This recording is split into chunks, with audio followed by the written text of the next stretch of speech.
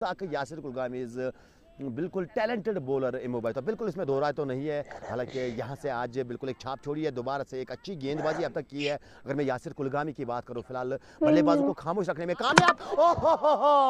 My dear brother what is going on और this is unbelievable this is unbelievable क्या ये गेंद थी?